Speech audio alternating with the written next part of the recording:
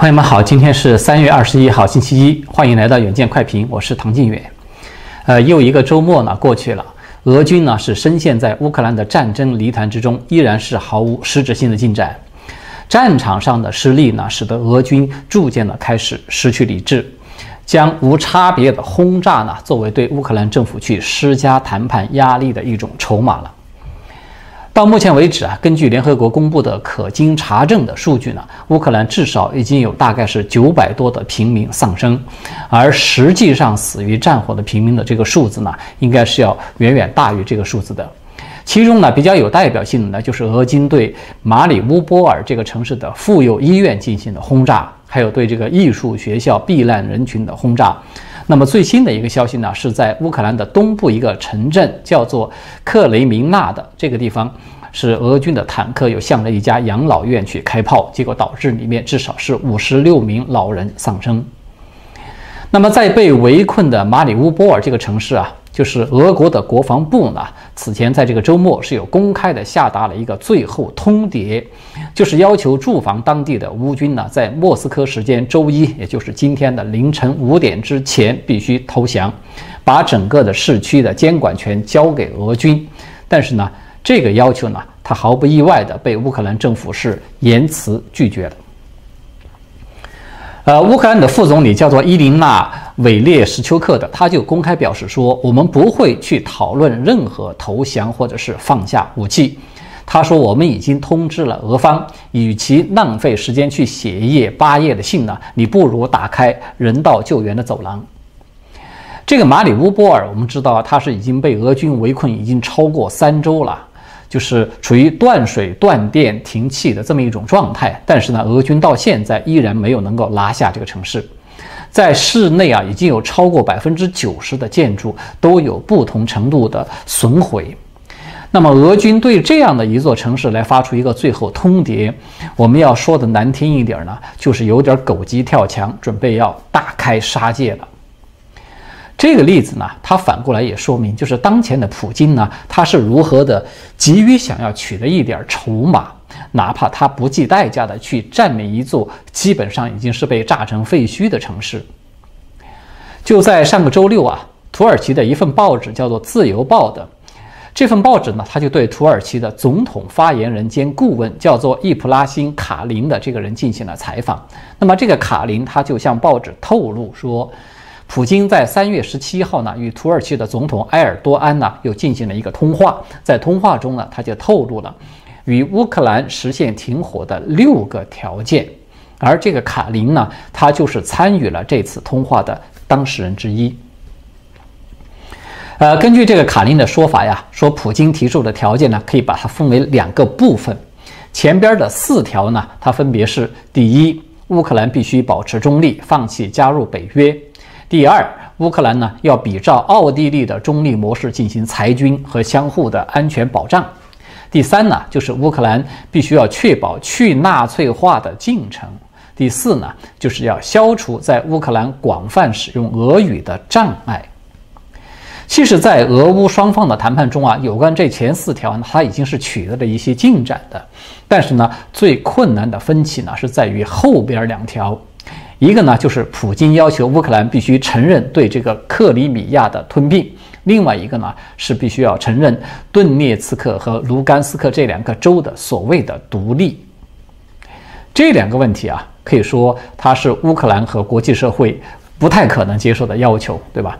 乌克兰的总统这个泽连斯基呢，在此前就已经是公开的拒绝过了，就说国家领土这个问题我们根本就不会考虑的。所以呢，现在双方达成的这种全面停火协议呢，恐怕还是为时过早的。那么，我们从普京现在提出的这六条要求来看呢，这个实际上它就是一个寻求在体面退场的一个开价了。前边说的这四条呢，他除了那个放弃加入北约这一点算是一点干货以外，其他的几条它其实都是弹性空间很大的条款。而不加入北约呢，他是泽连斯基此前已经公开的表明过了，说这是我们可以接受的立场，对吧？而后边这两条呢，它实际上我们看到它是回到了普京发动战争的原点。这个克里米亚呢，它八年以来，其实事实上一直都是处在俄罗斯的实际控制之下。就是普京在冬奥会结束以后呢，立即就有策动了乌东这两个州闹独立，并且就派兵进驻啊，说我们进行一个所谓的维和。在那个时候啊，国际社会其实普遍的都认为他是将要复制这个克里米亚的模式，比如说在这个两个州借用一个所谓的全民公投这么一个把戏，来把他的这个占领呢，把它合法化。我们看到这种状态呢，它其实就是普京在二十四号发起全面入侵乌克兰的这个起点。也就是说，他本来不需要发动这个全面入侵，他就已经可以得到现在这个结果。但是呢，结果是他入侵以后大动干戈，一直打到现在。我们看到他提出来的条款，他依然还是二十四号以前的这么一个状态。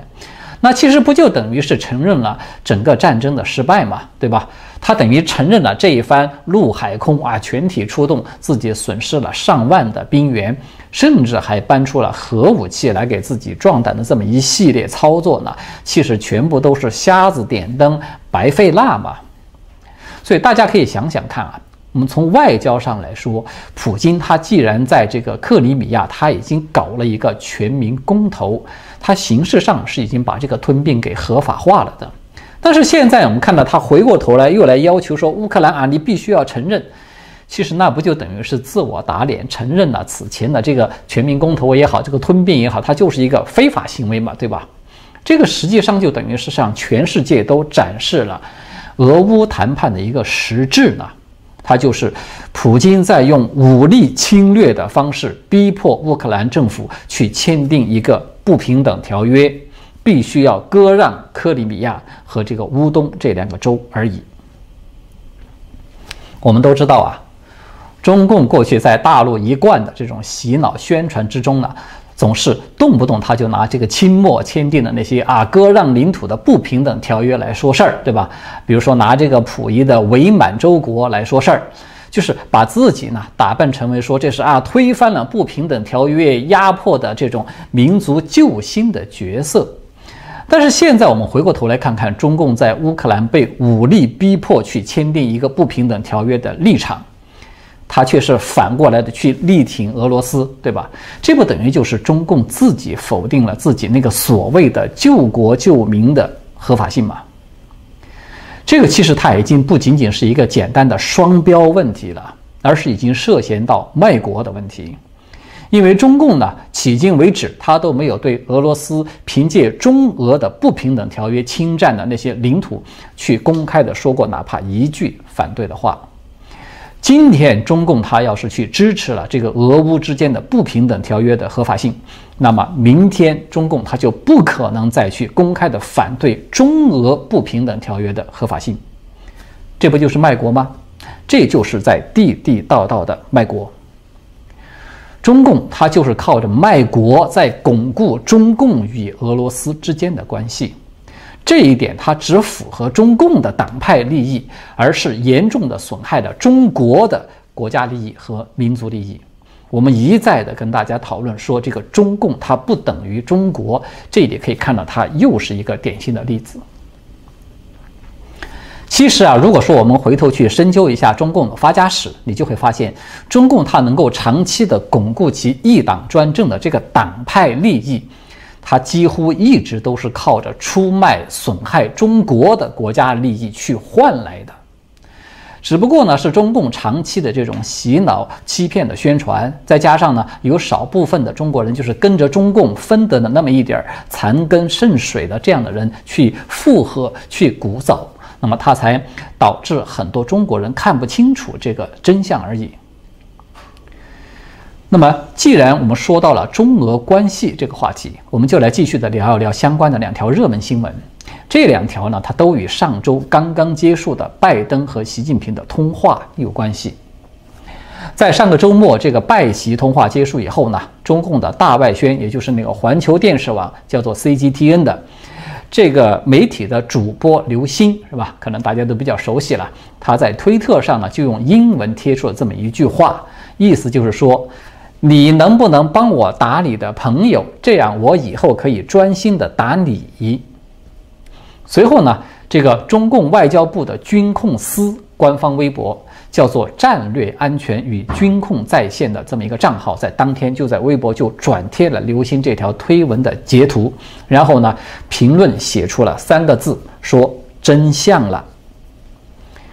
不仅如此啊，一直以这个外交部的编外代言人以及中南海的战略听床师自居的那个胡锡进。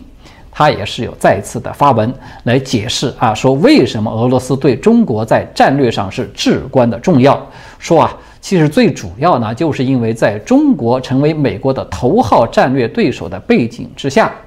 现在俄罗斯呢，它分走了美国大部分的压力了，这个就使得中共在印太地区是更加的轻松，甚至已经可以有精力去对日本和印度去施加压力了。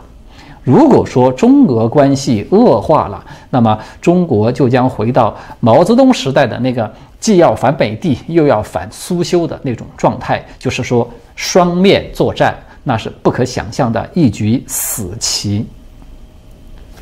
可能大家都知道是吧？就胡锡进他一向是以这个雕盘绝技而闻名江湖的，但是这一次呢，我们客观的说，他还真的没有完全的去胡编。最起码呢，我觉得他和刘鑫呢都说出了一个真相，就是当前的中共虽然极力的声称啊，说自己在这个俄乌战争中我们是保持一个所谓的中立，但是呢，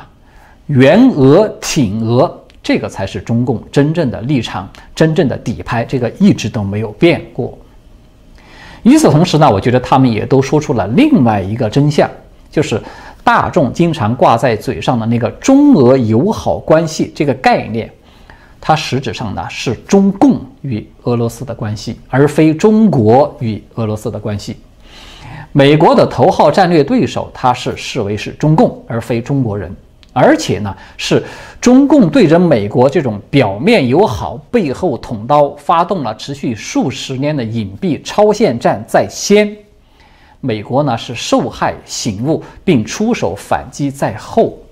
这个因果关系啊，它现在正在被中共故意的颠倒过来，就是把自己呢打扮成为一个说啊，美国不想让我们过好日子的这么一个所谓的受害者的角色。所以呢，我们从这一点上来讲啊，俄罗斯对乌克兰的侵略呢，它其实反而是让全世界都看清了中共的底牌，就是。中共永远都不可能融入国际社会，它永远都不可能去接纳普世价值观。任何对中共可以成为合作伙伴的这种想法，它其实都是不切实际的幻想，以及对自己国家政策的一种误导。这一点呢，其实中共驻美大使秦刚在昨天是有再次的给出了一个现场的表演。呃，就在昨天呢，秦刚是有参加了 CBS 的一档节目，叫做《Face the Nation》，呃，翻译过来叫做“面向全国”了。啊，他就在这档节目里面呢，接受了主持人玛格丽特·布伦南的一个现场的采访。在这一次节目中啊，秦刚是极力的想要在乌克兰战争问题上保持中共当前那个所谓的中立态度嘛，啊，想要在是否军事援助俄罗斯这个问题上保持一个最大限度的模糊状态。但是呢，在主持人这种毫不客气、像连珠炮一般的追问之下呢，秦刚还是被迫的给出了一个明确的表述。他说啊，有关中方向俄方提供军事援助的说法是虚假信息啊，我们对此表示反对。然后呢，在主持人的这个追问之下，秦刚又跟进的解释说，中方呢正在做的是援助食物、药品、睡袋和婴儿奶粉。不向任何一方提供武器和弹药，但是呢，他仍然是拒绝谴责俄罗斯的侵略，甚至还来了这么一句，说这个谴责入侵不能够解决问题。所以大家也看到了吧，就是从赵立坚到秦刚，他们其实完全都是一个调子，是吧？中共呢，他现在已经就是这样的一副嘴脸，就是赤裸裸的告诉你，我们不谈是非对错，我们只看利益。因为呢，要按照这种逻逻辑呢，就是说，你说谴责侵略不能够解决问题，而支援乌克兰这个武器去反抗侵略呢，这又是属于拱火浇油、升级态势的行为，是应当禁止的。那就变成了一个什么？就变成你只有去服从侵略，彻底的放弃抵抗，自动的被强权奴役，这才是所谓的顺应了和平历史潮流，才是王毅的那个所谓的啊站在了历史正确的一边，对吧？他不就变成这样了吗？所以我们就看到这种弱智而混账的逻辑呢，他就这么堂而皇之的被中共各个高级外交官呢，成天的都挂在嘴上，并且呢不以为耻，反以为荣。而且还为此啊倍感很高大上、洋洋自得。其实我们就可以知道，中共现在呢，可以说上上下下都已经进入到了这种“我是流氓，我怕谁”的新常态。说穿了，就是只要我不尴尬，尴尬的就是别人，对吧？其实我们看到呢，国际社会现在普遍对中共这种整体流氓化的思维呢，是非常的缺乏认识的。所以，为什么就老是有个别的西方专家呢？一次次的被骗了以后呢，他仍然还是抱着幻想，说指望由中共出面来做调停人，指望着中美合作一起去对付普京。其实，这个根本原因呢，就在这里。好的，接下来呢，我们要和大家来说一说大陆刚刚才发生的这个东航坠机事件。这个事件它的热度非常的高，它高到了什么程度呢？今天早上我在查看大陆微博的数据的时候，它就显示说这条新闻的阅读量啊，它在不到一天的时间之内，已经超过了十六点七亿，它就热到这种程度。那么我们都知道，这个空难事故可以说是年年都有，为什么这次东航坠机会突然的这么受关注呢？其实说白了，这个原因很简单。就是因为这一次坠机的过程，它是太过诡异了，以至于大量的网络舆论都在怀疑这是一个人为因素造成的。而且呢，正是因为这种质疑呢，它引发了又一次的大陆人民的这种集体恐慌。在这个美东时间今天的凌晨两点过。大陆东航的一架从昆明飞往广州的，是波音七三七杠八零零 NG 的这么一个航班，它搭载了一百三十二位乘客呢，在中途突然就坠毁在了广西梧州藤县莫郎村这个附近的山区，并且就引发了一个山火。那么根据这个实时飞行数据的显示呢，就是这这架客机它的速度和高度呢，在梧州附近是突然的出现了一个极其罕见的急剧下降。这个数据我们可以看到啊，它在两点二十分之前的一段时间，这个飞机一直都是处于平稳的，维持在高度是八千八百六十九米这样一个平飞的巡航状态。但是呢，它在二十分五十秒左右开始，却突然出现这种巡航高度的急剧的下降，并且在二十二分三十五秒的时候就下降到了九百八十二点九八米的这个高度，然后之后就失去了信号，坠毁了。那么这样一来呢，这个事件最大的一个疑团就此诞生，就是说，一架机龄才六点八年，还不到七年的飞行状况良好的飞机。它为什么会在两分钟左右的时间之内急剧的下降了，差不多是八千多米的高度？这种动作呀，它是连战斗机都不会做出来的，更何况这是一架大型的民航客机。随后呢，我们就看到有一段这个监控视频在网络上就被曝光出来了。从这个画面中啊，我们可以看到一架客机呢是以近乎九十度的角度。它几乎是垂直的往这个地面高速的俯冲下来，这种坠毁的形态非常的可怕，也非常的罕见。那么，根据大陆极目新闻这家媒体的报道呢，就说这段视频它是出自于藤县一家叫做晨发矿业有限公司的地面的监控画面。那么这家公司呢，它距离东航坠机的这个莫郎村呢，它只有五点八公里。那么，该公司的工作人员一位姓李的女士呢，已经向记者证实了，就是说这段视频，它的确是属于这个公司监控记录中的一段，它是真实的。这个视频中所呈现的那个深色的坠落物，它就是那架失事的飞机。至于说其他的相关细节呢，它现在不便透露，因为必须要获得有关部门的批准才可以等等。这个东航坠机事件发生以后呢，它急速的在大陆的网络就出现了一个发酵，并且呢，围绕着这个话题啊，就开始出现了各种说法。有人呢，甚至还挖出了一位匿名用户在今年一月份在知乎这个平台上发出的一篇帖子，就声称啊，说是在三月底啊会发生一起坠机事件，机上所有人员是无人幸免。但是呢，这张截图呢，它很快又被人找到了，他发出来的原文就发现呢，这个原文实际上他写的是二零二二年十二月底有坠机事件的发生，所以呢，这张图片呢看起来应该是被 PS 过的，它就更像是一个恶作剧的这么一种做法。但是呢，我们回过头来啊，就是来看看这个东航坠机事件的本身，它的确也是有诸多的疑点，现在是难以得到一个解释的。第一大疑点呢，就是这架飞机它为什么会以接近于九十度的这种垂直俯冲的形态去坠毁？我们都知道啊，现代的民航客机它都是具有滑翔功能设计的，即便这个飞机它在高空突然出现了这种极端情况，比如说两台发动机都同时这个失效了、停转了，它失去了动力。那么这个飞机它也完全可以凭借滑翔的方式去做一个紧急迫降的动作，也就是说，它的飞行轨迹、它的曲线，它必然是一种不规则的抛物线，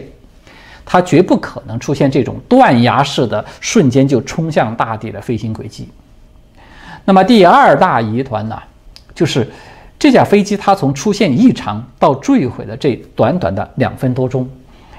机组人员呢，居然没有发出任何的紧急代码。目前我们也没有看到说这个机组人员有回答地面呼叫的记录。根据已经报道出来的这个信息呢，说这架飞机它其实有三位飞行驾驶员的存在，其中呢，机长和副机长呢，分别是拥有七千小时和三万小时的飞行经验，可以说是比较丰富了。同时呢，另外还有一个见习飞行员。那么。在一种天气情况良好的这种环境之下，这架飞机无论是它出现了任何的故障，按说呢，常理啊，就是机组人员他都应该会发送一个紧急的代码，这个可以说是一种条件反射式的必经的程序了。除非呢，有一种情况，就是说这个飞机它在高空遭遇到了剧烈的爆炸，突然就解体了。或者说是飞机出现了突然的整个断电以及彻底的通讯故障，否则的话，它就即便是出现了刚才我们说的，它两台发动机同时都这个停转了这种极其微小的概率的事情，这个驾驶员其实他也完全来得及发出一个紧急的代码，并且和地面进行沟通的。但是呢，问题就在这里了。我们从刚才那个成发矿业公司的那个监控视频的画面中可以看到，对吧？这个飞机它俯冲下来的时候，其实飞机的两个翅膀是完整的，可见呢，呃，同时呢，也没有看到就是这架飞机它有这个冒烟啊、起火啊等等这些迹象，它说明这架飞机在空中并没有发生瞬间的爆炸或者说是解体这样的事情。而这个地面接收站呢，其实也同时有收到飞机的这个叫做 ADS-B 这个系统的信号。这个信号它也显示呢，就是整个飞机在急速下坠的过程之中，这架飞机它一直都在发送着实时的信号，它就说明这个飞机并没有出现断电的情况，它完全具备着正常的通讯功能。刚才提到这个 IDSB 这个系统是什么东西呢？我们简单的说呢，它就是飞机上的一个自动广播系统。那么它可以自动的，一般来说是一秒钟就是一次，从这个机载设备中去获取一些参数，然后呢向这个地面站去报告这个飞机的位置啦、高度啦、还有速度啊、航向等等这些信息，从而呢使得地面的管制员可以对这架飞机的状态进行一种监测。呃，第三大疑团呢？根据这个飞行实时数据，我们可以看到，这架飞机它在急速下坠的过程之中，是曾经有过非常短暂的一个拉伸的动作，也就是在两点二十一分五十五秒到二十二分零五秒，就是这短短的十秒的时间段之内啊。这架飞机它从两千两百六十三米的高度一下子拉升到了两千六百二十一米，就是拉升了差不多接近四百米。但是呢，随后又迅速的在三十秒的时间之内急速的俯冲就是继续的以这种俯冲的方式坠地坠毁。那么这个数据它说明什么问题呢？它就说明这个驾驶员他曾经是有做出了一个紧急救险的操作的。那么这样一来，他就是否定了关于这个驾驶员在一种突然的失速的状态之下，说他昏迷了啊，失去知觉了这样的一种可能，对吧？他只能够是出于我们现在还不知道的原因。这个驾驶员呢，他在短暂的做了一个救险操作，仅仅十秒钟吧，他就突然这个动作又被中断了，然后这个飞机又继续的垂直俯冲下去了。第四大疑团就是这个飞机的液压系统。液压系统呢，我们知道它是飞机驾驶的基础。如果说这个系统要是出现了严重的故障了，比如说它的升降舵被突然的就锁死在某个固定的位置，那么它也有可能会出现这种，就是我们看到飞机几乎是垂直朝下去坠毁的这种情形。